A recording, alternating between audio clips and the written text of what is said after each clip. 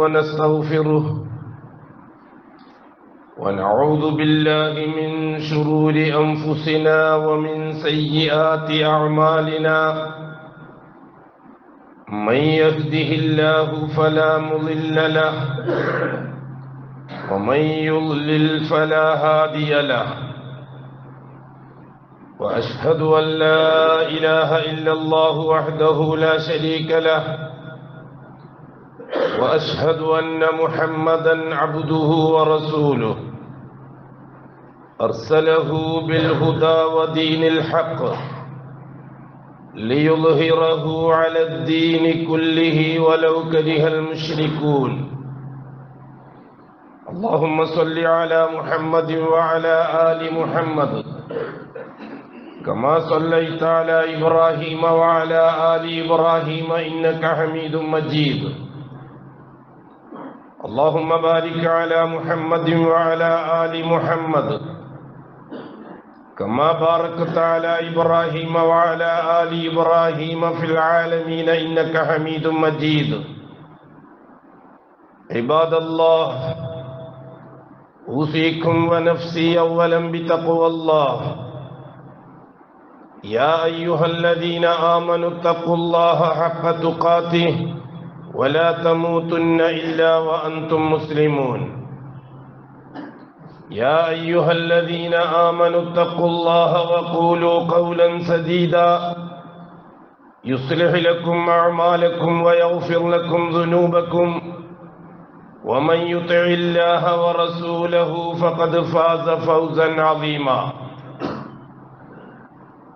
يا أيها الناس اتقوا ربكم الذي خلقكم من نفس واحدة وخلق منها زوجها وبث منهما رجالا كثيرا ونساء واتقوا الله الذي تساءلون به والأرحام إن الله كان عليكم رقيبا. أما بعد فإن أصدق الحديث كتاب الله. وخير الهدي هدي محمد صلى الله عليه وسلم وشر الأمور محدثاتها وكل محدثة بدعة وكل بدعة ضلالة وكل ضلالة في النار അള്ളാഹുവിൻ്റെ സത്യവിശ്വാസികളായ അടിമകളെ തക്വയുള്ളവരായി ജീവിക്കുകയും അതുവഴി ദുനിയാവിലും ആഹ്റത്തിലും അള്ളാഹു പൊരുത്തപ്പെടുന്ന ജീവിതം സമ്പാദിക്കുകയും ചെയ്യണമെന്ന് ആദ്യമായി എന്നോടും തുടർന്ന് നിങ്ങൾ ഓരോരുത്തരോടും വസീയത്ത് ചെയ്യും. അള്ളാഹു സുബാനുഹൂവത്തായ ഹിദായത്തിന്റെയും ലലാലത്തിന്റെയും ഉടമസ്ഥനാണ്. രണ്ടിന്റെയും മാലിക് അള്ളാഹുവാണ് അവ രണ്ടിന്റെയും മുദബിർ അള്ളാഹുവാണ് ഹിദായത്ത് ഒരാൾക്കും ലലാലത്ത് വേറൊരാൾക്കും അങ്ങനെ ഒരു രീതിയില്ല. ഹിദായത്ത് പ്രവാചകന്മാരുടെ വകയും ലലാലത്ത് ഷെയ്ത്താന്റെ വകയും അങ്ങനെയല്ല രണ്ടും അള്ളാഹുവിന്റെതാണ് ഇന്ന ഹദൈനാഹു സബീല ഇമ്മ വ ഇമ്മ കഫൂറ. തീർച്ചയായും മനുഷ്യർക്ക് രണ്ട് വഴി നിശ്ചയിച്ചു കൊടുത്തത് നാമാണ്. ഒന്നിക്കൽ അത് ഈമാന്റെ വഴിയായിരിക്കും. ഇമ്മ ഷാക്കിറ ഉടമസ്ഥനായ അള്ളാഹുവിന് നന്ദി പ്രകാശിപ്പിക്കാനുള്ള വഴി ഈമാന്റെ വഴി തൗഹീദിന്റെ വഴി. കഫൂറ ഒന്നിക്കലത് കുഫറിന്റെ വഴിയായിരിക്കും നന്ദികേടിന്റെ വഴി നിഷേധത്തിന്റെ വഴി. ഇത് രണ്ടും നാമാണ് നിശ്ചയിച്ചു കൊടുത്തത് എന്ന് അള്ളാഹു താല സൂറത്തുൽ ഇൻസാന്റെ തുടക്കത്തിൽ പറഞ്ഞു തന്നിട്ടുണ്ട്.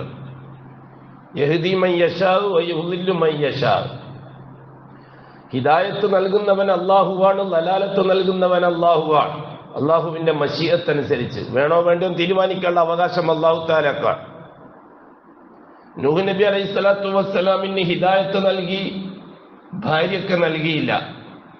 ഇബ്രാഹിം അലൈഹി സ്വലാത്തു വസ്സലാമിന് നൽകി ബാപ്പാക്ക് നൽകിയില്ല. അഷ്റഫുൽ ഹൽക്ക് സല്ലാഹു അലഹി വസ്ലമ തങ്ങൾക്ക് നൽകി മൂത്താപ്പ അബൂ താലിബിന് നൽകിയില്ല. അബൂജഹലിന് നൽകിയില്ല അബൂജഹലിന്റെ മകൻ ഇക്കിരിമത്തിന് നൽകി. ഇത് അള്ളാഹുവിന്റെ രീതിയാണ്. ഇതിൽ ഇടപെടാൻ ആർക്കും അവകാശമില്ല. ആർക്ക് ഹിദായത്ത് നൽകണം നൽകണ്ട എന്ന് തീരുമാനിക്കാനുള്ള പരമാധികാരം അള്ളാഹു താലാക്ക് മാത്രമാണ്. പ്രവാചകന്മാർക്ക് പോലും ഇല്ല. ഏതെങ്കിലും തരത്തിലുള്ള ഒരു യോഗ്യതയുടെ പേരിലാണ് ഹിദായത്ത് കിട്ടുന്നതെങ്കിൽ ഇന്ന് ഈ ലോകത്ത് അതിനുള്ള യോഗ്യത അബൂ താലിബിനാണ്. അഷ്റഫുൽ ഹൽക്കിന്റെ മൂത്താപ്പ അബൂ താലിബിന്. അത് കഴിഞ്ഞാൽ പിന്നെ ഇബ്രാഹിം നബിന്റെ ബാപ്പ ആസറിനാണ്. യോഗ്യതയുടെ പേരിലാണ്. ആസറിന് ഇബ്രാഹിമിന്റെ ബാപ്പ എന്നതിൽ കവിഞ്ഞ് വേറെ ഒരു യോഗ്യതയുമില്ല. നാളെ ഒരു കഴുതപ്പുലിയുടെ കോലത്തിൽ നരകത്തിലേക്ക് വലിച്ചെറിയും ഇബ്രാഹിമിന്റെ ബാപ്പാനെ എന്ന് റസൂലുള്ളാഹി തങ്ങൾ പറഞ്ഞിട്ടുണ്ട്. ഇബ്രാഹിമിന് കരയാനേ നിവൃത്തിയുള്ളൂ. പൊറുക്കലിനെ തേടാൻ പോലും അവകാശം ഇബ്രാഹിം അലി സ്വലാത്തു വസ്സലാമിനില്ല. ദുനിയാവിൽ വെച്ച് തന്നെ പറഞ്ഞു നോക്കിയിട്ടുണ്ട് ഇബ്രാഹിം. എന്റെ ബാപ്പാക്ക് ഞാൻ പൊറുക്കലിനെ തേടട്ടെയോ എന്ന്. പറ്റൂല എന്ന് പറഞ്ഞു അള്ളാഹു താല നിങ്ങൾ ആലോചിച്ച് നോക്കണം. എന്താണ് ആസർ ചെയ്ത തെറ്റ്? അള്ളാഹുവിനെ നിഷേധിച്ചോ ആസർ? അള്ളാഹുവിനെ തള്ളിപ്പറഞ്ഞോ? അള്ളാഹുവിനെ കളിയാക്കിയോ പരിഹസിച്ചോ? ഇല്ല അള്ളാഹുവിന്റെ റുബൂബിയത്ത് അംഗീകരിക്കുന്ന ആളാണ് ആസർ. പിന്നെന്താണ് ആസർ ചെയ്ത തെറ്റ്? ആ അള്ളാഹുവിനെ കടുക്കാൻ മഹാന്മാരുടെ രൂപങ്ങളും മഹാന്മാരുടെ പ്രതികളും പ്രതിബിംബങ്ങളും ഉണ്ടാക്കി അതിന്റെ പൂജാരിയായിട്ട് വിലസി. അതായത് ചുരുക്കി പറഞ്ഞാൽ നമ്മുടെ കാലഘട്ടത്തോട് യോജിപ്പിച്ചു പറഞ്ഞാൽ ജാറത്തിലെ ഇലാഹവറത്തിന്റെ ആളായിരുന്നു ആസർ ജാറത്തിലേക്ക് വരുന്നവർക്ക് ഇലാഹവറത്തി പറഞ്ഞ് ജാറത്തിലെ ശേഖന്മാരോട് പരാതി പറയുന്ന ജോലിയായിരുന്നു ആസറിന് വേറൊരു തെറ്റും ആസർ ചെയ്തിട്ടില്ല. അസറിനെ സംബന്ധിച്ച് ചരിത്രകാരന്മാരാരും അതല്ലാതെ വേറൊന്നും പറഞ്ഞിട്ടുമില്ല. മഹാന്മാരുടെ രൂപങ്ങൾ ഉണ്ടാക്കി വിശ്വാസികളുടെ വീടുകളിൽ ചെന്ന് ആ രൂപങ്ങളെ നൽകി. ഇതാണ് നിങ്ങൾക്ക് അള്ളാഹുവിനെ കടുക്കാനുള്ള ആശ്രയം എന്ന് പറഞ്ഞ് പരിചയപ്പെടുത്തി കൊടുക്കുകയായിരുന്നു ചെയ്തത്. എന്നാൽ അബൂ താലിബ് അങ്ങനെയോ അല്ല അബൂ താലിബ് അങ്ങനെയുള്ള ഒരു തരത്തിൽ അള്ളാഹു താല വെറുക്കുന്ന പൂർവികന്മാർ ചെയ്ത ഒന്നും അബൂ താലിബ് ചെയ്തിട്ടില്ല. ഹലാലായ ഭക്ഷണം മാത്രമേ അബൂ താലിബ് കഴിച്ചിട്ടുള്ളൂ. ഹറാമായ ഭക്ഷണം തൊട്ടു നോക്കിയിട്ടില്ല അബൂ താലിബ്. പലിശ തൊട്ടു നോക്കിയിട്ടില്ല അബൂ താലിബ്. ചൂതാട്ടത്തിന്റെ ഭാഗത്തെടുക്കുകയില്ല അബൂ താലിബ്. മദ്യം തൊട്ടു നോക്കിയിട്ടില്ല അബൂ താലിബ്.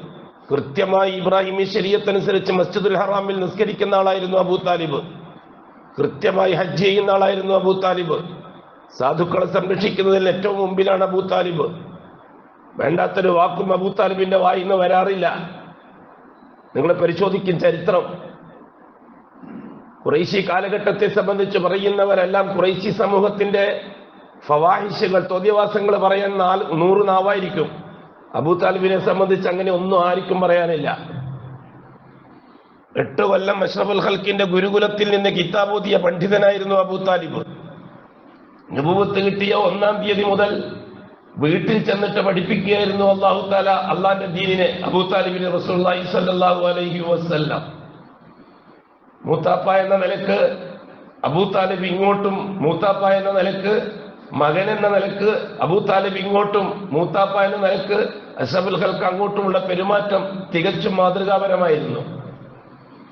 മുഹമ്മദ് മുസ്തഫ സല്ലാഹു അലഹി വസല്ലമ തങ്ങളുടെ മുഖത്തിന്റെ നിറം മാറുന്നത് അബൂ താലിബിന് ഇഷ്ടമായിരുന്നില്ല. അബ്ദുൽ മുത്തലിബ് മരിച്ചതിന് ശേഷം സ്വന്തം മക്കൾ Talib Aqeel Jafar Ali Umm Hani മുതലായ മക്കൾ. ആ മക്കൾ വേറെ ഭക്ഷണം കഴിച്ചാലും മുഹമ്മദ് ഇല്ലെങ്കിൽ ഭക്ഷണം കഴിക്കൂല. അബൂ താലിബ്. മുഹമ്മദ് മുസ്തഫ തങ്ങൾക്ക് കൊടുത്തിട്ട് ബാക്കിയുണ്ടെങ്കിലേ മറ്റുള്ള മക്കൾക്ക് കൊടുക്കുമായിരുന്നുള്ളൂ. ദരിദ്രനാണ് അബൂ താലിബ്. ജീവിക്കാൻ നിവൃത്തിയില്ലാത്ത ആളായിരുന്നു. ദാരിദ്ര്യമായിരുന്നു അടുക്കളയിൽ വളരെ കഷ്ടിച്ചിട്ടാണ് ഭക്ഷണം കഴിച്ചത് റസുള്ളായി തങ്ങളും അബൂ താലിബും ബാക്കിയുള്ള മക്കളും. അത്ര പരമപരിശുദ്ധമായി ജീവിച്ച വ്യക്തിയാണ് അബൂ താലിബ്. ഏവർക്കും ചരിത്രം ചരിത്ര താരിഖിന്റെ കിതാബുകളിൽ നിന്ന് വായിച്ച് പഠിക്കാവുന്നതേ ഉള്ളൂ. എട്ട് കൊല്ലമാണ് റസൂള്ളാഹി തങ്ങൾ ദീൻ പഠിപ്പിച്ചത്. എട്ട് കൊല്ലമാണ് ലാ ഇലാഹ ഇല്ലല്ലാഹ് പഠിപ്പിച്ചത്. അബൂ താലിബ് സമ്മതിക്കുന്ന കാര്യവുമാണ്. ഇമാം ബുഖാരി റഹ്മുല്ല നിവേദനം ചെയ്തതനുസരിച്ച് ഒലക്കത് അലിംതു ഞാൻ എൽമു നേടിയിട്ടുണ്ട്. മുഹമ്മദി തീർച്ചയായും എന്റെ മകൻ മുഹമ്മദിന്റെ ദീൻ. മിൻ ഖൈരി ദീന. ദീനുകളുടെ കൂട്ടത്തിൽ ഏറ്റവും ഹൈറായ ദീനാണ് എന്റെ മോന്റെ ദീൻ എന്ന് ഞാൻ ഇൽമു നേടിയിട്ടുണ്ട് എന്ന് വളരെ കൃത്യമായി അബൂ താലിബ് പറയാറുണ്ടായിരുന്നു. തായിഫിലേക്കുള്ള യാത്ര അഷ്റഫുൽ ഖൽക്കിന് നിർബന്ധമായി തീർന്നു. കുടുംബക്കാരും നാട്ടുകാരും വല്ലാതെ അങ്ങ് വെറുത്തു. അബൂ താലിബിന്റെ വീട്ടിലേക്ക് യാത്ര പറയാൻ വേണ്ടി പോവുകയായിരുന്നു അഷ്റഫുൽ ഖൽക്ക്. മൂത്താപ്പാനോട് യാത്ര പറഞ്ഞിട്ട് അബൂ താലിബ് അബൂ താലിബ് തായിഫിലേക്ക് യാത്ര തിരിക്കുകയാണ് അഷ്റഫുൽ ഹൽക്ക് വീട്ടിൽ ചെന്നു രോഗിയായി കിടക്കുകയായിരുന്നു. കുറേശി പ്രമാണിമാരുണ്ടൊന്നിച്ച്. അബൂ താലിബിന്റെ വീട്ടിൽ കാരണം ശരിയാണ് അബൂ താലിബ് ഹറം ഷെരീഫിന്റെ മുത്തവല്ലിയാണ്. കഴബാലയത്തിന്റെ പരിപാലകനാണ്. മസ്ജിദുൽ ഹറാമിന്റെ മുത്തവല്ലിയാണ്. നാട്ടിലെ നേതാവാണ് നാട്ടിലെ ഭരണാധികാരിയാണ് അമീറാണ്. അതുകൊണ്ട് തന്നെ കുറേശി പ്രമാണിമാർ സദാസമയവും അബൂ താലിബിന്റെ വീട് സന്ദർശിക്കും. അന്ന് അഷ്റഫുൽ ഹൽക്ക് പോകുമ്പോൾ അബൂജഹൽ ഉത്തബത്ത് ഷെയ്ബത്തൊക്കെ ഉണ്ടായിരുന്നു. റസൂലുള്ളാഹി സല്ലാഹു അലഹി വസ്ലം തങ്ങൾ അവരോടൊന്നും ലോകം പറയാൻ നിന്നില്ല. ബാപ്പാനോട് യാത്ര പറയാൻ വന്നതാണ് യാത്ര പറയുമ്പോഴും യാത്ര തീരുമ്പോഴും തുടങ്ങുമ്പോഴും അവസാനിക്കുമ്പോഴും ഇരുപത്തിമൂന്ന് കൊല്ലവും അഷ്റഫുൽ ഹൽക്ക് ഒറ്റൊന്നേ പറയാനുള്ളൂ സമൂഹത്തോട് കൂലു ഇലാഹ ഇല്ലല്ലാ. ഇനി അങ്ങോട്ട് ഞാൻ എന്റെ ജീവിതം അള്ളാഹുവിനെ സമർപ്പിക്കുകയാണ് അള്ളാഹുവിനെ മാത്രമേ ഞാൻ ഇടപെടിപ്പിക്കുകയുള്ളൂ അള്ളാഹു അല്ലാത്ത ഒന്നും എനിക്ക് വേണ്ട. ഇത് പറഞ്ഞാൽ നിങ്ങൾ ജയിക്കും. ഇതന്നെ അഷ്റഫുൽ ഹൽക്കിന് രാവും പകലും പറയാനുള്ളത്. മക്കായിൽ വെച്ച് വഹി തുടങ്ങിയപ്പോഴും പറഞ്ഞത് അത് തന്നെ. സഫാ മലയിൽ വെച്ച് പറഞ്ഞതും അത് തന്നെ. മക്കായിലെ വീട് വീടാന്തരം കയറി ഇറങ്ങി പറഞ്ഞതും അത് തന്നെ. മദീനയിലേക്കുള്ള യാത്രാമധ്യ സൗറമലയിൽ വെച്ച് പറഞ്ഞതും അത് തന്നെ. മക്കായിലെത്തി കുബാ മസ്ജിദിൽ വെച്ച് പറഞ്ഞതും അത് തന്നെ. മസ്ജിദുൽ മദീന മുനവർ മസ്ജിദുൽ നബ മദീന മുനവർ മസ്ജിദുൽ മസ്ജിദുൽ മദീനത്തുൽ നബവിയിൽ പുതിയ പള്ളി ഉണ്ടാക്കി മസ്ജിദുൽ നബവി. അവിടെ വെച്ചും പറഞ്ഞത് അത് തന്നെ. ബദ്രിലും മൊഹദിലും അഷ്റഫുൽ ഹൽക്ക് പറഞ്ഞത് അത് തന്നെ. ഇലാഹ ഇല്ലല്ല അംഗീകരിച്ചാൽ ജയിക്കാം. രോഗിയായി കിടന്നപ്പോഴും പറഞ്ഞത് അത് തന്നെ. വഫാത്താകുന്നതിന്റെ മണിക്കൂറുകൾക്ക് മുമ്പ് ഉമ്മത്തോട് ചെയ്ത വസീയത്തും അത് തന്നെ. നമുക്കതൊന്നും പോരാ. നമുക്ക് കാലികമായ വിഷയങ്ങൾ കുറെ കേൾക്കണം. രാവിലെ സുബഹി കഴിഞ്ഞാൽ സിയാഹു സിത്തയാകുന്ന പത്രങ്ങൾ മുഴുവനും വായിച്ചു തീർക്കണം. എന്നിട്ട് ആ ആറ് സിയാഹു സിത്ത മാതൃഭൂമി മനോരമ മാധ്യമം ചന്ദ്രിക എന്നിത്യാദി ആറ് സിയാഹു സിത്ത സഹിഹായ ആറ് കിതാബുകൾ അത് മുഴുവനും വായിച്ച് തീർത്ത് അതിന്റെ ഫസ്റ്റ് പേജിലും തേർഡ് പേജിലും ലാസ്റ്റ് പേജിലുമുള്ള വിഷയങ്ങളൊക്കെ നമുക്കിങ്ങനെ അയവിറക്കിക്കൊണ്ടിരിക്കണം എന്നാലേ ദീനാവുള്ളൂ. എന്നാലേ ദീനിന്റെ പ്രഭാഷണമാവുള്ളൂ. ഇതെന്തോ ഈ തൗഹീദ് തൗഹീദ് തൗഹീദ് എന്നും തൗഹീദ്? അതെ. പണ്ഡിതന്മാർ പറയാറുണ്ടായിരുന്നു ഉറുദുവിൽ ഒരു ചൊല്ലുണ്ട് ഹുസൂർ ക ഫിക്ർ അപ്പിന ഫിക്ർ പറയാമോ അഷഫുൽ ഖൽക്കിന്റെ ചിന്ത എന്താണോ അത് നമ്മുടെ ചിന്തയാക്കി മാറ്റണം. ഹുസൂർ ക ഹമ്മ് അപ്പിന ഹമ്മ് ബനാവോ ഹുസൂർ ക ഹമ്മ് അപ്പിന ഹമ്മ് ബനാവോ ശരിയാണ്. റസൂലുള്ളാഹി തങ്ങളെ എന്നും വേട്ടയാടിക്കൊണ്ടിരിക്കുന്ന ഒരേ ഒരു ചിന്ത. ഫലഅല്ലക നഫ്സക ഇല്ലം യുഗ്മിനു ബിഹാദൽ ഹദീസി അസഫ. ഓ മുഹമ്മദ് നബി എന്താ ഇത്?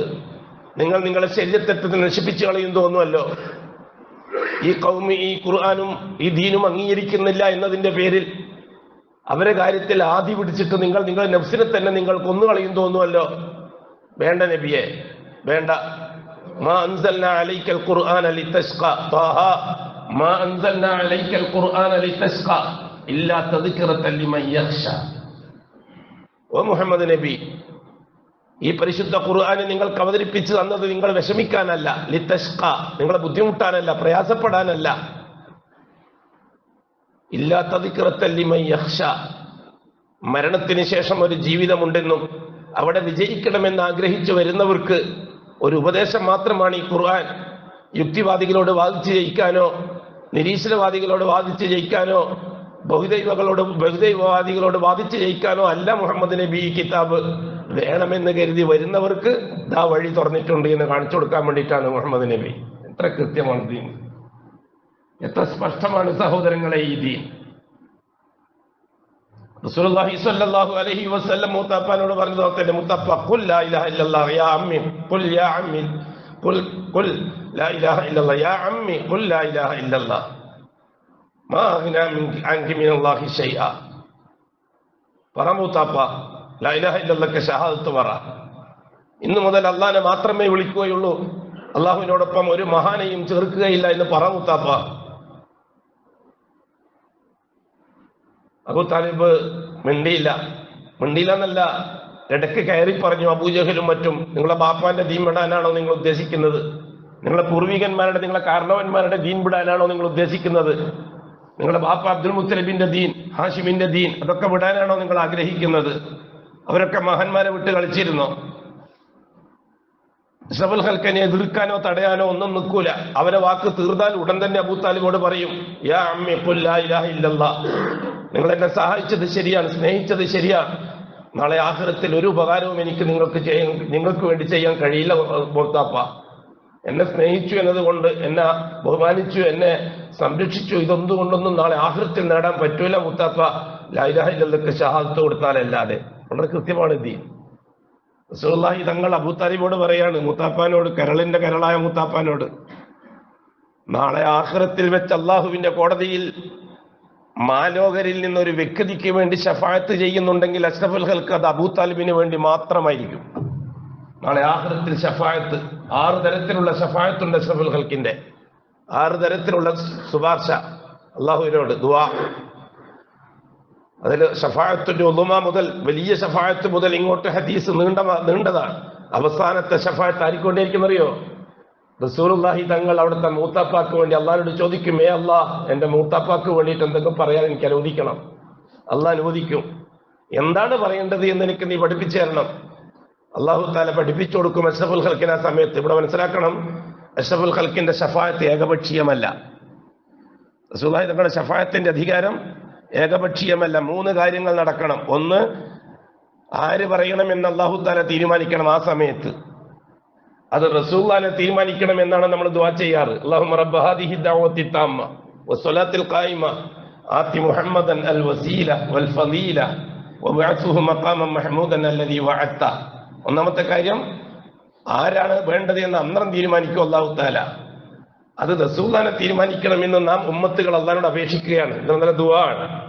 ബാങ്കിന്റെയും ഇക്കാമത്തിന്റെയും ഇടയിലുള്ള ദുആ ബാങ്ക് കഴിഞ്ഞ ഉടൻ തന്നെയുള്ള ദുആ ആ ദുവ പറഞ്ഞ ഉടൻ തന്നെ നമുക്ക് ആവശ്യമുള്ളത് പറഞ്ഞോളണം. അത്രമാത്രം അള്ളാന്റെ ദർബാറിൽ ഘനമുള്ള ദുവ ആണ്. എന്റെ അഷ്റഫുൽ ഹൽക്കിന് നാളെ ആ സ്ഥാനം നീ കൊടുക്കണേ അള്ളാഹുവേ എന്ന്. സുബ്ഹാനല്ലാ. ഹബീബിനോടുള്ള സ്നേഹം ഉമ്മത്തിന്റെ. റസൂലുള്ളാഹി തങ്ങൾ പറഞ്ഞു നിങ്ങൾ എനിക്ക് വേണ്ടി ദുവാ ചെയ്യണം. നിങ്ങൾ എനിക്ക് വേണ്ടി ദുവാ ചെയ്യണം. നാളെ ആഹൃത്തിൽ ആ സ്ഥാനം എനിക്ക് കിട്ടാൻ.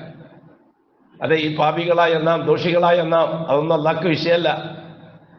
തൗഹീദുണ്ടോ എങ്കിൽ ആ ദുആ ദർബാറിൽ പാറിക്കളിക്കും. അള്ളാഹു താല സബുൽഹക്കിനെ തെരഞ്ഞെടുത്തു കഴിഞ്ഞാൽ സുജൂദിൽ നിന്ന് തല ഉയർത്തും. മുഹമ്മദ്. എന്താ മുഹമ്മദ്? തല ഉയർത്ത് സുജൂദിൽ നിന്ന്. സൽ എന്താണ് ചോദിക്കുക എന്താ? കാര്യം എന്താണ് തൊഴുത്ത നൽകാം. ഇഷ്ഫ ശുപാർശ പറഞ്ഞോളൂ മുഹമ്മദ്. വിഷമിക്കണ്ട. തുഷഫ് അങ്ങയുടെ ശുപാർശ സ്വീകരിക്കാം. എന്തിനാ? എന്തിനാണിത്? അഷ്റഫുൽ ഖൽക്ക് സല്ലല്ലാഹു അലൈഹി വസല്ലമ തങ്ങളുടെ വ്യക്തിത്വം ഭൂലോകത്ത് ആലോകർക്ക് കാണിച്ചു കൊടുക്കണം അള്ളാഹു താലാക്ക് ആദമ തൊട്ട് ലോകാവസാനം വരെ. ആ മുഹമ്മദ് മുസ്തഫാനെ വിമർശിച്ചവർ ആ മുഹമ്മദ് മുസ്തഫാനെ ചീത്ത പറഞ്ഞവർ ആ മുഹമ്മദ് മുസ്തഫാനെ ദ്രോഹിച്ചവർ എല്ലാവരും കണ്ണുകുളിർക്ക കാണണം അള്ളാന്റെ ദർബാറിൽ അഷഫുൽഹൽക്ക് ഉയർന്ന ദർജയിൽ വിലസുന്നത്. അതിനാണ് അള്ളാഹു തല ഷഫാത്ത് വെച്ചിരിക്കുന്നത്. എന്നല്ലാതെ അള്ളാഹ്ക്ക് എന്തെങ്കിലും ചെയ്യാൻ മുഹമ്മദ് മുസ്തഫാനെ ശുപാർശ വേണമെന്ന് ആരും കരുതി പോകരുത്. അങ്ങനെ ചിന്തിക്കുന്നുണ്ട്. ഷിയാക്കൾ എങ്ങനെ ചിന്തിക്കുക? അള്ളാഹ് ചെയ്യണമെങ്കിൽ നിബിധങ്ങൾ പറയണം. നിബിധങ്ങൾ പറയണമെങ്കിൽ മോദി ഷേഖ് പറയണം. മോദി ഷേഖ് പറയണമെങ്കിൽ മറ്റേ ഷേഖ് പറയണം. ഷിയാക്കളുടെ ചിന്താഗതി അങ്ങനെയാണ്. അത് തികച്ചും തെറ്റാണ്. കുഫറിന്റെ ജൂതന്റെ വിശ്വാസമാണ് റസൂലുള്ളാഹി സ്വല്ലല്ലാഹു അലൈഹി വസല്ലം തങ്ങൾക്ക് ഷഫാഅത്ത് എന്ന പദവി അല്ല നൽകിയത്. ഷാഫി മുഷഫ സുഭാഷ ചെയ്യുന്ന ആൾ സുഭാഷ സ്വീകരിക്കപ്പെടുന്ന ആൾ ആ പദവി നൽകിയത്.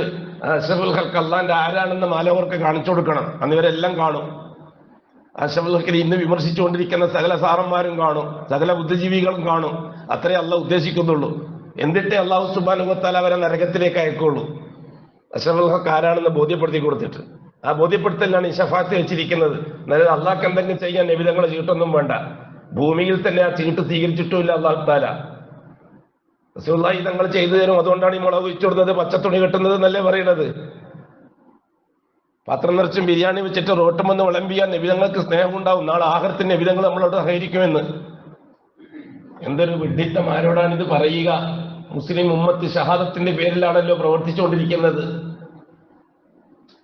സ്വല്ലല്ലാഹു അലൈഹി വസല്ലമ തങ്ങളുടെ പ്രിയപ്പെട്ട മകൾ ഫാത്തിമാക്ക് പോലും നാളെ ആഖിറത്തിൽ റസൂലുള്ളാഹി തങ്ങൾക്ക് ഒന്നും ചെയ്യാൻ കഴിയില്ല എന്നിട്ടല്ലേ ഈ ബിരിയാണി വെച്ച് വിളമ്പുന്നവർക്ക് വേണ്ടി ചെയ്യാൻ ഫാത്തിമാനോട് അഷ്റഫൽഹൽക്ക് പറഞ്ഞ വാക്ക് കേൾക്കണം നിങ്ങൾക്ക് യാ മോളെ യാ ബനിയ യാ ഫാത്തിമ ബിന്ദ മുഹമ്മദ് മുഹമ്മദിന്റെ മകളായ ഫാത്തിമ സലീനി മാലി സലീനി മി മാലി ഫഅതീക്കി എനിക്ക് പൈസ വല്ലതും വേണോ ദീനാറോ ദീർഘമോ വല്ലതും വേണോ എന്റെ കയ്യിലുള്ളത് ഞാൻ എനിക്ക് തരാം. നീ ചോദിച്ചോളൂ ആവശ്യം പറഞ്ഞോളൂ. പല ഉഹിനി അൻകി മിനല്ലാഹി ശൈഅ നാളെ ആഖിറത്തിൽ ബാപ്പ റസൂലാണ് എന്ന പേരിൽ മോക്ക് വേണ്ടി ഒന്നും ചെയ്യാൻ കഴിയില്ല മോളെ. ഒന്നും ചെയ്യാൻ കഴിയില്ല. നിനക്ക് വേണ്ടി ഒന്നും എനിക്ക് പറ്റൂല. അതുകൊണ്ട് ഫങ്കിദി നഫ്സക്കി മിനന്നാർ. നാളെ നരകത്തുനിന്ന് രക്ഷപ്പെടാൻ ഇന്ന ബാപ്പാന്റെ മോളാന്ന് വന്നിട്ട് രക്ഷപ്പെടാൻ നിൽക്കൂല നിൽക്കണ്ട നടക്കൂല. നിന്റെ നഫ്സിനെ നീ രക്ഷപ്പെടുത്തിക്കൊള്ളണം മോളെ. അതിനാവശ്യമായത് നീ ചെയ്തോളണം ഭൂമിയിൽ. ഫാത്തിമാനോട് കുറത്തു ആയി ഫാത്തിമ ബിദത്തും മിന്നി വ കുറത്തു ഐനി ഫാത്തിമ എന്റെ കരളിന്റെ കഷ്ണമാണ്. ഫാത്തിമ എന്റെ ജീവനാണ്. ഫാത്തിമ എന്റെ ശരീരത്തിന്റെ ഭാഗമാണ്.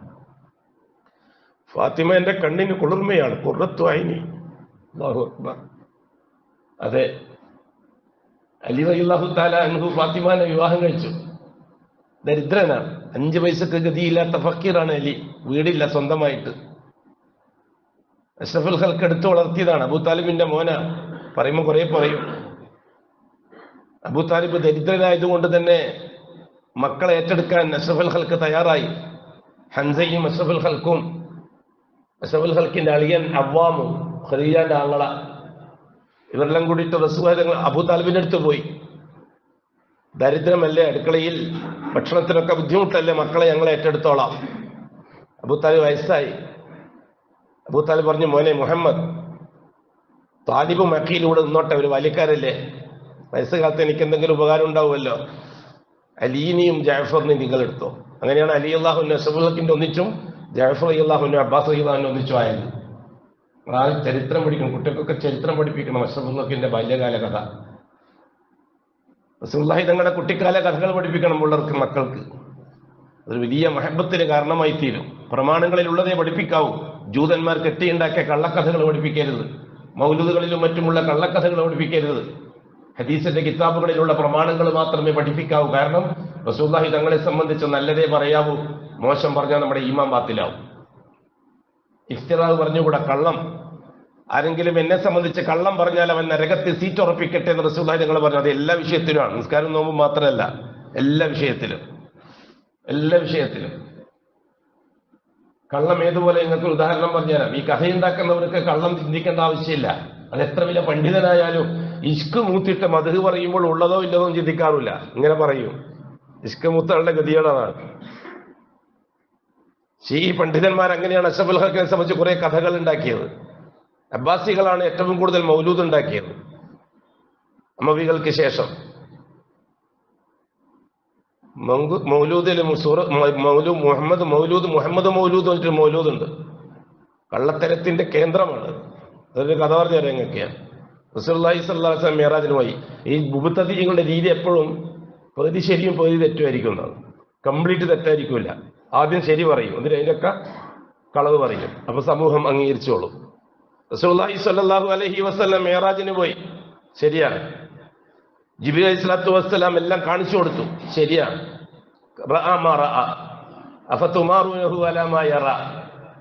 സുഹൃത്തു മാ അള്ളാഹു തല നജ്മിൽ വിശദീകരിക്കുന്നുണ്ട്. ഒരു കൊട്ടാരം ഒരു ബംഗ്ലാവ് സ്വർഗത്തിൽ പ്രവേശിച്ചു. ശരിയാണ്. ഈ തലത്തുൽ ജന്നത്ത വന്നാർ നരകത്തിലും സ്വർഗത്തിൽ നരകവും സ്വർഗവും എനിക്ക് കാണിച്ചു തന്നു റസൂലുള്ളാഹി ഞങ്ങൾ പറഞ്ഞു. സ്വർഗത്തിൽ ഒരു ബംഗ്ലാവ് ഒരു ഒരു ഒരു കൊട്ടാരം. ഇത് ആർക്കുള്ളതാണെന്ന് റസൂലുള്ളാഹി തങ്ങൾ ചോദിക്കുന്നു. അതുമുതൽ അങ്ങോട്ട് കളവ് തുടങ്ങുന്നു. ഇത് ഖദീജാക്കുള്ളതാണ് റസൂലുള്ളാഹി തങ്ങളെ അവിടെ പ്രവേശിപ്പിക്കുന്നു. ജിബിരിയിൽ ഒരു ആപ്പിൾ കൊണ്ട് കൊടുക്കുന്നു ഖദീജ റസൂലുള്ളാഹി തങ്ങൾക്ക് ആ കൊട്ടാരത്തിൽ നിന്ന് തിന്നാൻ റസൂലുള്ളാഹി തങ്ങൾ അത് തിന്നുന്നു. ഈ ആപ്പിളിലൂടെ ശരീരത്തിൽ ഉൽപ്പാദിപ്പിച്ച ശുക്ലത്തിലാണ് ഫാത്തിമ ജനിച്ചത് എന്ന് നമ്പർ വൺ കളം ഷിയാക്കളുടെ നമ്പർ വൺ കളവ് പച്ചക്കള്ളം. എന്താ കളവ് എന്നറിയോ റസൂല മേറാജിന് പോകുമ്പോൾ പതിനൊന്ന് വയസ്സുണ്ട് ഫാത്തിമ അഷ്റഫുൽ ഹക്കം അദ്ദേഹം പറഞ്ഞത് ഈ ഷിയാക്കളുടെ രീതി എന്തൊക്കെ ഒരു കഥ പറയുമ്പോൾ അതിന് മുമ്പും മുമ്പും ആലോചിക്കൂല. അതിലുള്ള കാര്യങ്ങൾ ആലോചിക്കൂല. അങ്ങനെ പറയലാണ്. പിന്നെ നമ്മളെപ്പോലത്തെ ആരെങ്കിലും തിരുത്തി കൊടുക്കുമ്പോൾ അങ്ങനെയാണല്ലേ എന്ന് പറയുക അതിനെന്തെങ്കിലും ദുർവ്യാഖ്യാനം ഉണ്ടാവും.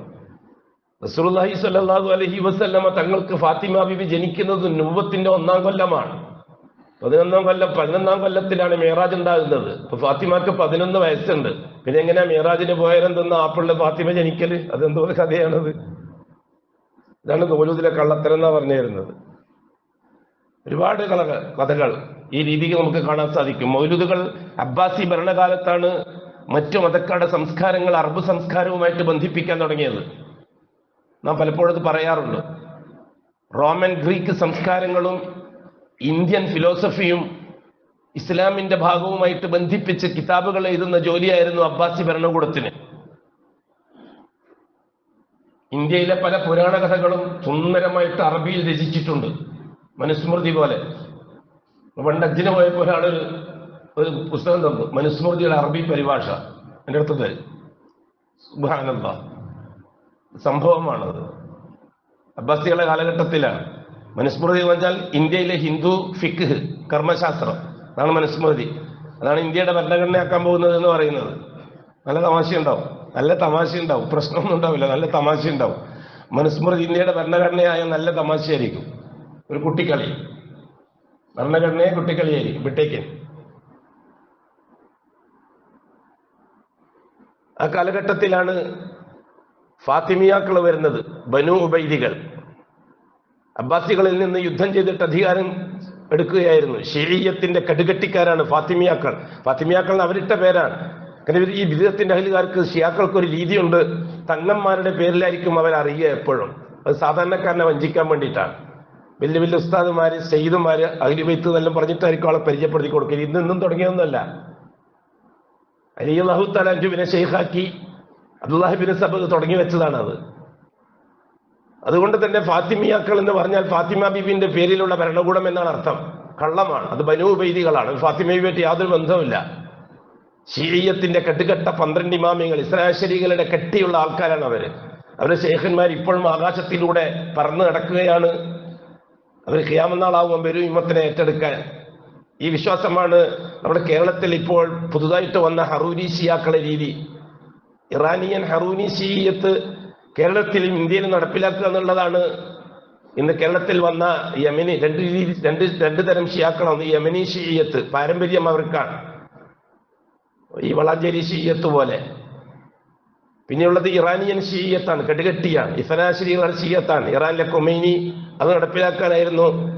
അതിന് ഇസ്ലാമിക് വിപ്ലവം എന്ന് ആരൊക്കെയോ പേരിട്ട് ഇസ്ലാമിനെ കൊല്ലാൻ ആഗ്രഹിക്കുന്നവർ അതിന് ഇസ്ലാമിക് വിപ്ലവം എന്ന് പേരിട്ട് കുമേനിയുടെ ഇറാനിയൻ വിപ്ലവം ഷീ വിപ്ലവമാണത്. ഇസ്ലാമിനെ കൊന്നിട്ട് പഴയകാല പേർഷ്യൻ മതമായ ബജൂസിയത്തിന്റെ തുടർച്ചയായിട്ട് ഷീയത്തിനെ ലോകത്ത് അടിച്ചേൽപ്പിക്കാനുള്ള ഇറാന്റെ ശ്രമമായിരുന്നു അത്. ഇതൊക്കെ ഒരുപാട് സംഭവങ്ങളാണ്. മുമ്പത്ത് മനസ്സിലാക്കിയിരിക്കേണ്ട കാര്യങ്ങളാണ്. നമ്മളിങ്ങനെ മുസ്ലിം എന്ന് വന്നിട്ട് രാവിലെ ആകുന്നു വൈകുന്നേരമാകുന്നു. കുല്ലും ബിരിയും മുസബ്ബിഹും ബിഅഹ്ലിഹി അൽ മൗത്തു അദിന മിൻ അള്ളാഹുവിന് പറഞ്ഞതുപോലെ അബൂക്ക് സിദ്ദീഖ് അള്ളാഹുവിന് പറഞ്ഞതുപോലെ നേരം വിളിക്കുന്നു രാത്രിയാകുന്നു എല്ലാവരും. മരണം അവരുടെ കാലിൽ കാലിന്റെ ചെരുപ്പ് എത്രത്തോളം കാലുമായി അടുത്തിരിക്കുന്നുവോ അതിനേക്കാൾ അടുത്തിട്ടാണ് മരണമുള്ളത് എന്ന് ആരും മനസ്സിലാക്കുന്നില്ല. എന്ന് വളരെ ഗൗരവമായിട്ട് നാം ഈ കാര്യം മനസ്സിലാക്കിയിരിക്കണം. റസൂലുള്ളാഹി സ്വല്ലല്ലാഹു അലൈഹി വസല്ലമ തങ്ങളെ സംബന്ധിച്ചുള്ള ചരിത്ര കഥകൾ ഉള്ളതേ പറഞ്ഞു കൊടുക്കാവൂ സമൂഹത്തിന്. കുട്ടികൾക്കും ഉള്ളതേ പറഞ്ഞു കൊടുക്കാവൂ. ഞാൻ ചർച്ച അങ്ങോട്ട് പോയതാണ്. ഈ മൗലിദ് പോലെയുള്ളതിലുള്ള കള്ളക്കഥകളോ നോവലുകളോ അത് വലിയ അതിശയമാണ്. ബദറുൽ മുനി റുസുൽ ജമാൽ ഉണ്ടാക്കി. മൊയിൻകുട്ടി വൈദ്യര് തികച്ചും കള്ളമാണ്. ഭാവനയാണ്. നോവലാണ് എന്താണ് നോവൽ എന്ന് പറഞ്ഞാൽ? കഥാകാരന്റെ മനസ്സിൽ സ്വരൂപിക്കുന്ന ഭാവനകളെ അക്ഷരങ്ങളാക്കി മാറ്റുക. ഇതാണ് നോവൽ. അതിന് ഖുർആൻ ലഹുൽ ഹദീസ് എന്നാ പറയുക. പ്രശുദ്ധ ഖുർആന്റെ ഭാഷ ലഹുൽ ഹദീസ് എന്നാണ്. അടിസ്ഥാനമില്ലാത്ത വാക്കുകൾ. അതാണ് നോവൽ. കഥാകാരന്റെ മനസ്സിലെ സങ്കല്പങ്ങളാണ് നോവൽ. ഉസുൽ ജം ബദറുൽ മുനി ഉസുൽ ജമാൽ എന്ന നോവൽ ഉണ്ടാക്കി മൈൻകുട്ടി വൈദ്യര്. ആര് വായിച്ചാലും നാട്ടിലെവിടെയോ നടന്നതുപോലെ തോന്നും. അതാണല്ലോ കലാകാരന്റെ സാമർഥ്യം. ഷീയത്തിന്റെ കാലം ജഹാലത്തിന്റെ കാലമാണ് മൈൻകുട്ടി വൈദ്യർ അത് ചെയ്തത്. അത് കഴിഞ്ഞ് മുമ്പും കവികൾ അങ്ങനെ ചെയ്തിട്ടുണ്ട് ബൂസിരിയെ പോലെ. അറബി കവിയായിരുന്നു ബൂസിരി. അവർ ഇവിടുത്തെ ഹറൂരി ഷിയാക്കൾ അല്ലാമ ബൂസിരി ഇമാം ബൂസിരി എന്നൊക്കെ പറഞ്ഞിട്ട് ബുർദവെയ്ത്ത് പിന്നെ വിവാദത്തിന്റെ വാചകമായി ചെല്ലും. ഷിർക്കിന്റെ കൊട്ടയാണ് ബുർദവെയ്ത്ത് ഇതേപോലെ അറബി കവികൾ ഒരുപാട് കഴിഞ്ഞു പോയിട്ടുണ്ട് പണ്ടും. ഷിർക്കിനെ ആധാരമാക്കിക്കൊണ്ട് ഉമ്മത്തിന്റെ മേൽ അടിച്ചേൽപ്പിച്ചു. സാധാരണക്കാരനായ മുസ്ലിം ഉമ്മത്തിന്റെ വിശ്വാസക്കുറവിനെ പുരോഹിതന്മാർ ചൂഷണം ചെയ്ത് കള്ളക്കഥകൾ പറഞ്ഞ് അവരെ അവരോധിക്കുന്ന ഷെയ്ഖാണ് ഈ അഷഫുൽ ഹൽക്കുമായിട്ട് അടുത്താളെന്ന് വരുത്തി തീർത്ത് അങ്ങോട്ട് കൊണ്ടുപോയി. ഈ ദുരന്തം ചില്ലറയല്ല. വരാനിരിക്കുന്ന ഭാവി ഫാസിസത്തെയും കമ്മ്യൂണിസത്തെയും അതുപോലെയുള്ള ഇസങ്ങളെയും പറഞ്ഞ് വെറുതെ പേടിപ്പിക്കുകയാണ് ഈ സമുദായത്തെ. അത് രാഷ്ട്രീയക്കാരന്റെ ലാഭമാണ്. ജൂതന്റെ തന്ത്രമാണത്. സയനിസ്റ്റുകളുടെ തന്ത്രമാണത്. ഏറ്റവും പേടിക്കേണ്ടത് ഉമ്മത്തിന്റെ ഉള്ളകത്തുള്ള ശീയത്തിന്റെ വളർച്ചയാണ്. ശീയത്തിന്റെ വളർച്ചയാണ്. വളരമായ ഗൂഢമായ തന്ത്രങ്ങൾ. പഴയകാല പേർഷ്യൻ മജൂസി സംസ്കാരം ഇന്ന് ഇറാന്റെ തെഹ്റാൻ കേന്ദ്രമാക്കിക്കൊണ്ട് ലോകത്ത് നടന്നുകൊണ്ടിരിക്കുകയാണ്. അവരുടെ ലക്ഷ്യം എന്താണ്? ഇന്നത്തെ ഭരണകൂടമായ മംലക്കത്തു സൗദി അൽ അറബി സൗദി ഭരണകൂടത്തെ തകർക്കുക അതിനെ ഏത് പിശാച്ചിനെയും കൂട്ടുകെട്ടുക അങ്ങനെ മക്ക മദീനടക്കമുള്ള സൗദി ഭരണം സ്വന്തമാക്കുക. പഴയകാല പേർഷ്യൻ മജൂസിയത്ത് അഷ്റഫുൽ ഖൽക്കിന്റെ കബർ വെച്ചുകൊണ്ട് ലോകത്ത് നടപ്പിലാക്കുക. അങ്ങനെ ഭൂലോകത്തുള്ള മുഴുവൻ തീർത്ഥാടകരെയും മദീന കേന്ദ്രമാക്കിക്കൊണ്ട് പോയിപ്പിക്കുക. കാബ രണ്ടാം സ്ഥാനത്തേക്ക് തിരിക്കപ്പെടും. വളരെ ഗൗരവമായിട്ട് നിങ്ങൾ കാണണം.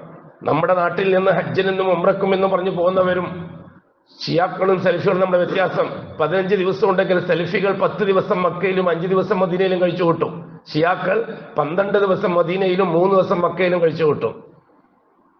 ഷിയാക്കളെ രീതി അതാണ്. അത് ഇറാനിയൻ ഹറൂരി ഷീയത്തിന്റെ ഭാഗമാണത്. വരാനിരിക്കുന്നത് കെട്ടുകെട്ടിത്ത സംഭവങ്ങളായിരിക്കും.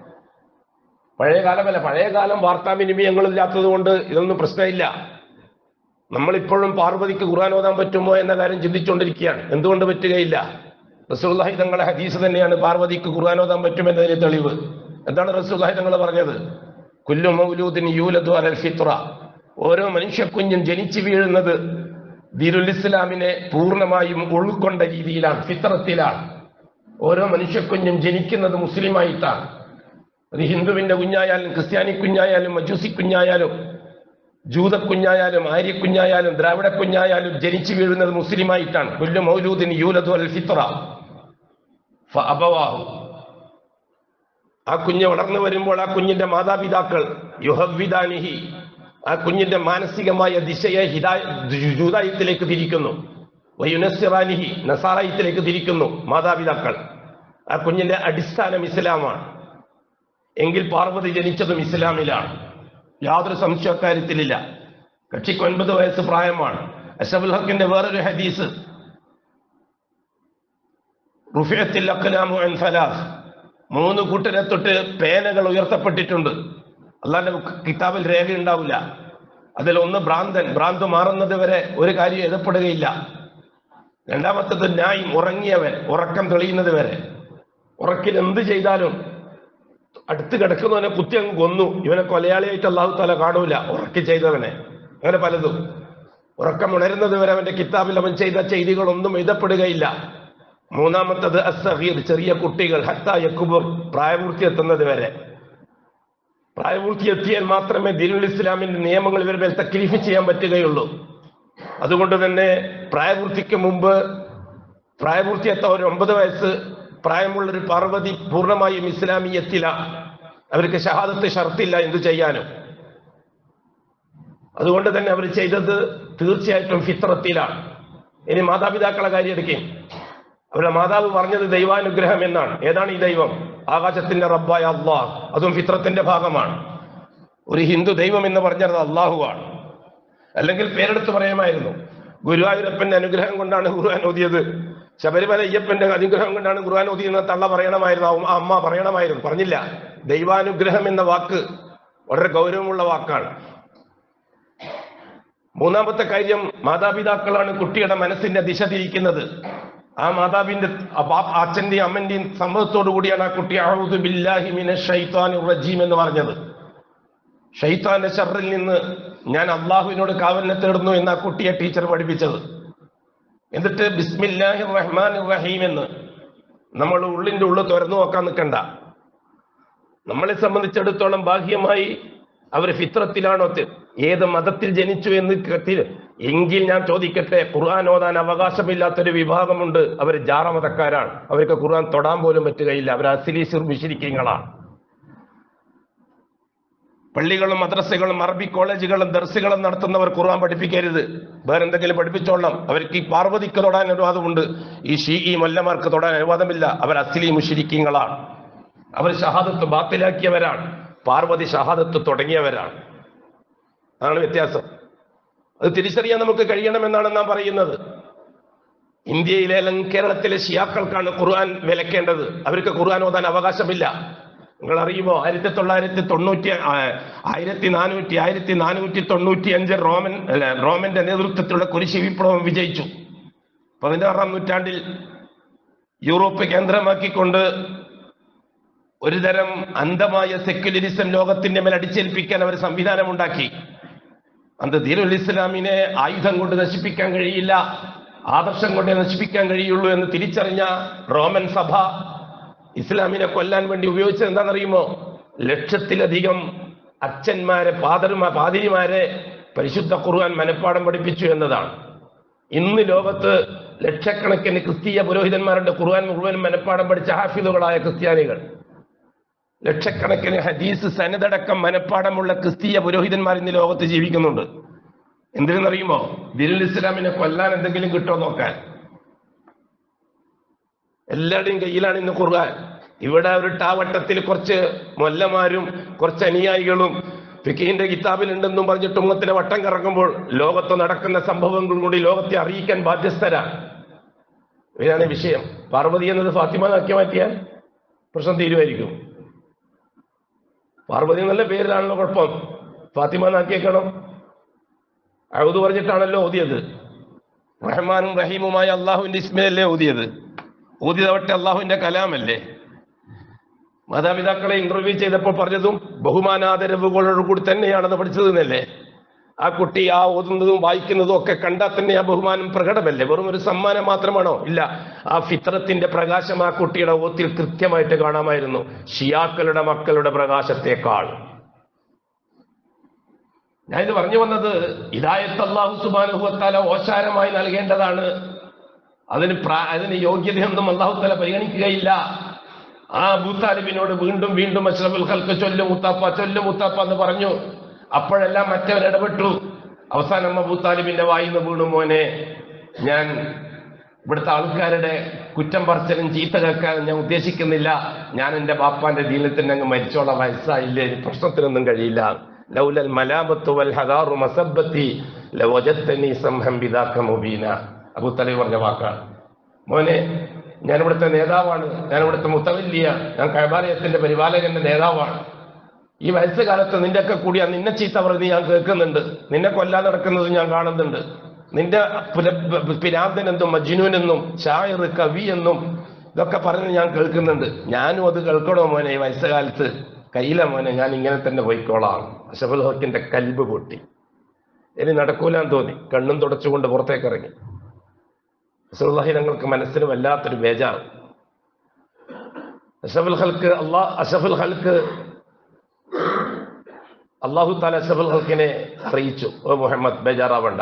ഇന്നക്കല തഹ്ദി മൻ അഹബവുത്ത വലാക്കിന്നല്ലാഹ യഹ്ദി മൻ മോനെ മുഹമ്മദ് നബി നിങ്ങൾക്ക് ഇഷ്ടമാണ് മൂത്താപ്പാനെ ശരിയാണ്. ഇങ്ങ ഇങ്ങോട്ടും ഇഷ്ടമാണ്. അതുകൊണ്ട് മാത്രം ഹിദായത്ത് കിട്ടൂല മോനെ.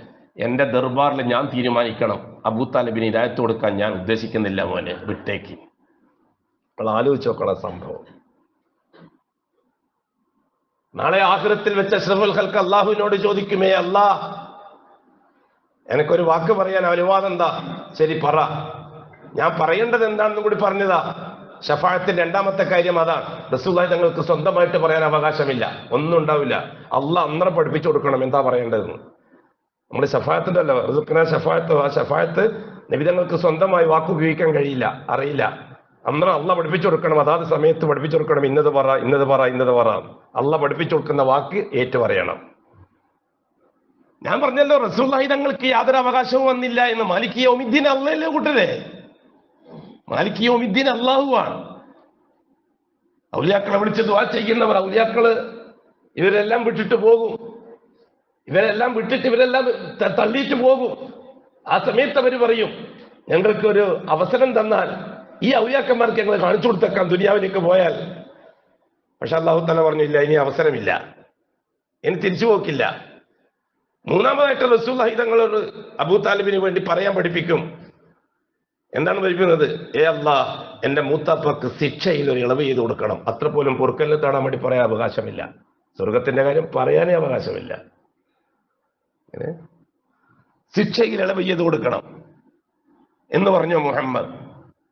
അത് കേട്ടപ്പോ റസൂദായി തങ്ങൾ പറഞ്ഞു എന്റെ മൂത്താപ്പാക്ക് നീ ശിക്ഷയിൽ ഇളവ് ചെയ്ത് കൊടുക്ക്. എന്തിനാന്നറിയത് ഇത്? മാലവരെ കേൾപ്പിക്കാനാണ്. എനിക്ക് എന്നെ നിങ്ങളെ കേൾപ്പിക്കാൻ. സ്നേഹിക്കുന്ന എനിക്കും നിങ്ങൾക്കും കാണണം അത് വെറുക്കുന്നവർക്കും കാണണം അത് അതിനുവേണ്ടി അല്ല നമ്മളെ സന്തോഷിപ്പിക്കാൻ. മറ്റവരെ കുറച്ചും കൂടി ചൊറിയാൻ. ശത്രുക്കളെ നല്ലത് റസൂദായി തങ്ങളെ കൊണ്ട് അല്ലാക്കുന്ന കാര്യം നേടാനല്ല. തഹ്ഫീഫല്ലാതാകും അള്ളാഹുവിനോട് റസൂല്ലാഹി നിങ്ങൾ ദുവാ ചെയ്യുന്നു അത് കബൂലാവുന്നു. റസൂല്ലാഹി അള്ളാഹ് പറഞ്ഞു ഇന്ന അതുപോലല്ല അതാബി ലിറജുലിൻ മിനൻ ഫിന്നാർ ഫിന്നാർ ലിറജുലിൻ. ശിക്ഷയുടെ ഏറ്റവും സീറോ പോയിന്റ് ശിക്ഷ ഒരു മനുഷ്യന് മാത്രമാണ്. ലഹു ജംറത്താനി മിന്ന. തീ കൊണ്ടുള്ള രണ്ട് ഷൂ ധരിപ്പിക്കും അയാളെ. ധരിക്കേണ്ട താമസം തലച്ചോറ് വരെ ഒരുകി ഒഴു- ഒഴുകി ഒഴുകാൻ തുടങ്ങും. അപതന്നപത കാലാകാലം. ഇത് അബൂത്താലിബിന്റെ ശിക്ഷയാണെന്ന് പറഞ്ഞു റസൂല്ലായി തങ്ങൾ. ആലോചിച്ച് നോക്കണം ഇതാണ് ഹിദായത്തിന്റെ പൊരുളെന്നാ പറഞ്ഞു വരുന്നത്. ഈ ഹിദായത്ത് അള്ളാഹുവിന്റെ ഭാഗത്തുനിന്ന് ഓശാരമായി കിട്ടേണ്ടതാണ്. ലലാലത്ത് അള്ളാഹുവിന്റെ ഭാഗത്തുനിന്ന് അടിമകളോട് അള്ളാഹു താല അരിശം തീർക്കാൻ കൊടുക്കുന്നതാണ്. ഇത് രണ്ടും അള്ളാഹുവിന്റെ ഭാഗത്തു നിന്നാണ് പറഞ്ഞു വന്നത് ഹിദായത്ത് നബിമാരെ വകയും ലലാലത്തെ ഷൈത്താന്റെ വകയുമാണ് തെറ്റിദ്ധരിക്കരുത്. രണ്ടും അള്ളാഹുവിന്റെ വകയാണ്. ഹിദായത്തിന്റെ പ്രബോധകൻ മാത്രമാണ് പ്രവാചകർ ലലാലത്തിന്റെ പ്രബോധകർ മാത്രമാണ് ഷൈത്താൻ ഇൻഷാ അല്ലാ നമുക്ക് തുടർന്ന് വിശദീകരിക്കാൻ കാര്യങ്ങൾ എൽമിൽ അള്ളാഹു ഒരുപാട് ബറക്കത്തും അമൽ ചെയ്യാൻ അതിനേക്കാൾ അറിയത്തോ അതിനേക്കാളേറെ തൗഫീഖും തന്നെ അനുഗ്രഹിക്കട്ടെ അഖൂലു ഖൗലി ഹാദാ വല്ലാഹു അലം വഅസ്തഗ്ഫിറുല്ലാഹ അൽഅദീം ലി വലക്കും വഅസ്തഗ്ഫിഹി അന്നി വഅൻകും وعن جميع المسلمين والمؤمنين أجمعين واستغفروه إنه هو الغفور الرحيم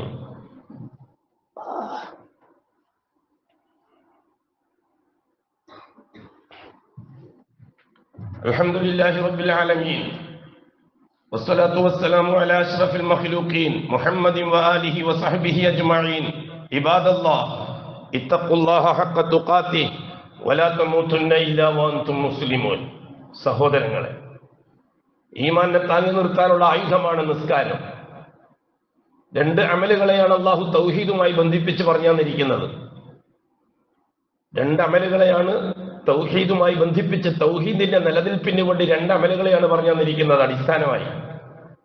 ബാക്കിയുള്ള അതിന്റെ അനുബന്ധമായി. ഒന്നാമത്തെ അള്ളാഹു താല പറഞ്ഞു ലാ ഇലാഹ ഇല്ലല്ലാ നിലനിർത്താൻ നിസ്കാരം നിലനിർത്തുക. ലാ ഇലാഹ ഇല്ല അന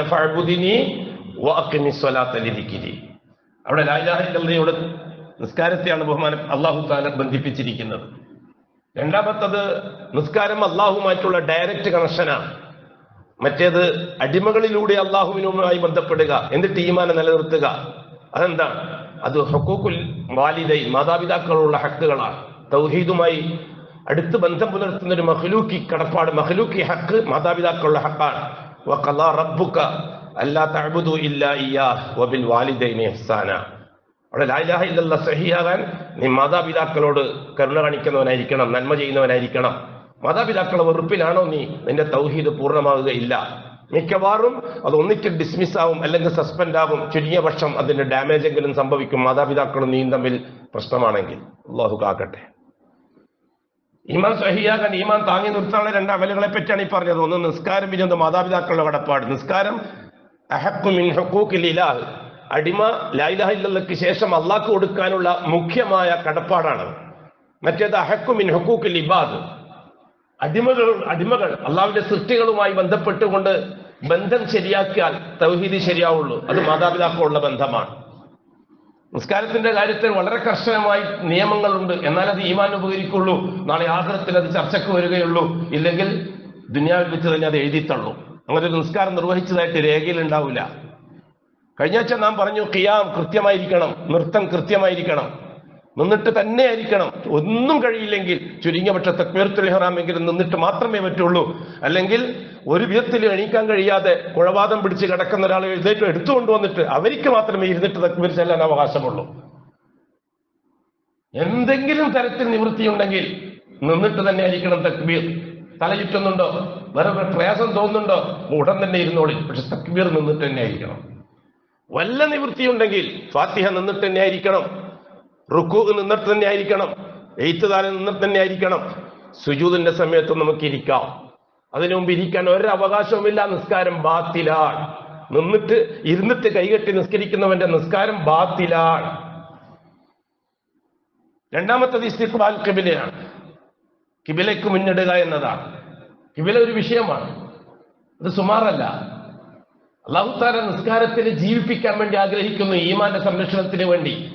നിസ്കാരം ഈമാന്റെ സുരക്ഷയ്ക്ക് ഉപകരിക്കണമെങ്കിൽ നിസ്കാരത്തിന്റെ ഓരോ അർക്കാനുകളും അവയവങ്ങളും ക്ലിയർ ആയിരിക്കണം. നിസ്കാരത്തിന്റെ അവയവങ്ങൾക്ക് ക്ഷീണം പറ്റരുത്. നിസ്കാരത്തിന്റെ അവയവങ്ങൾക്ക് ക്ഷീണം പറ്റരുത്. നിസ്കാരം മൂന്ന് രീതിയാണ്. ഒന്ന് നീയത്ത് അമൽ കൽബ് കൽബിന്റെ അമലാണ്. മറ്റേത് കിറാഅത്ത് അത് അമലുൽ ലിസാൻ നാവിന്റെ ഇബാദത്താണ്. തക്ബീറത്തുൽ ഹറാം മുതൽ അങ്ങോട്ട്. മറ്റേത് അമലുൽ അവയവങ്ങളുടെ അമലാണ്. ഇങ്ങനെ മൂന്ന് അമലുകൾ കൂടിച്ചേർന്നാണ് നിസ്കാരം. ആ മൂന്ന് മൂന്ന് അവയവങ്ങളുടെയും ഹൃദയം നാവ് മറ്റവയവങ്ങൾ. അത് സജീവമായിരിക്കണം നിസ്കാരത്തിൽ. സുമാറാകാൻ പറ്റുകയില്ല. ഇൻഷാല്ല നമുക്ക് തുടരാം. അള്ളാഹു അറിവിൽ വർധനമുണ്ടാക്കി തരട്ടെ. നല്ല പ്യൂറിൽ പ്യൂറായ ക്ലീർ നിസ്കാരം. ശുദ്ധമായ നിസ്കാരം. മനോഹരമായ നിസ്കാരം. നിസ്കാരം മനോഹരമായിരിക്കണം. ശാന്തമായിരിക്കണം. അള്ളാഹു അക്ബർ. അത് അനുഗ്രഹമാണ് തൗഫീഖാണ്. ഹിദായത്തിന്റെ തൗഫിക് ആർക്ക് കിട്ടിയോ? അവർക്ക് മാത്രം കിട്ടുന്നതാണ് നിസ്കാരത്തിന്റെ രുചി. അല്ലെങ്കിൽ പെട്ടെന്ന് ഒറ്റക്കെട്ടുള്ള തീർക്കും. അത് ഹിദായത്തിന്റെയും ലലാലത്തിന്റെയും ഇടയിലാണ് അവൻ എന്നതിന് തെളിവാണ്. അള്ളാഹു മനസ്സിലാക്കി അമൽ ചെയ്യാൻ തോഫിക്ക് ചെയ്യട്ടെ. നമ്മുടെ രോഗികളോട് അള്ളാഹു താല വലിയ കരുണ കാണിക്കട്ടെ. വലിയ റഹമത്ത് ചെയ്യട്ടെ. ക്യാൻസർ രോഗികൾ കിഡ്നി രോഗികൾ ഹാർട്ട് രോഗികൾ ട്യൂമർ രോഗികൾ മാനസിക രോഗികൾ അപസ്മാര രോഗികൾ. ചെറുതും വലുതുമായ രോഗങ്ങളെ കൊണ്ട് വേദന തിന്ന് കഴിയുന്നവർ കുട്ടികൾ വലിയവർ ആണുങ്ങൾ പെണ്ണുങ്ങൾ ആശുപത്രികളിലുള്ളവർ വീടുകളിലുള്ളവർ മുസ്ലിമീങ്ങൾ അമുസ്ലിമീങ്ങൾ അള്ളാഹു അവന്റെ കുതിരത്ത് കൊണ്ട് ശിഫിയാക്കി കൊടുക്കട്ടെ. നമുക്കത്രയും രോഗങ്ങളൊന്നും വരാതെ അള്ളാഹു കാക്കുകയും ഈ ആരോഗ്യം ഈ ആഫിയത്ത് ഒരു പോറലേൽക്കാതെ മരിക്കുന്നത് വരെ അള്ളാഹു അവന്റെ ഔദാര്യം കൊണ്ട് നിലനിർത്തി തരികയും ചെയ്യട്ടെ.